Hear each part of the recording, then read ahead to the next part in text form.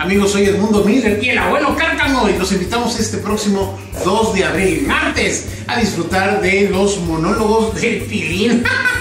con Víctor Sánchez, mejor conocido en el bajo mundo como el Jarocho Show. 2 de abril, monólogos del Pilín. Se van a divertir. Ya puedes comprar los boletos en la taquilla o a través de Ticketbox. Ah, sí. ¿Y tú? ¿Ya tienes tus boletos? Se están acabando. Corre.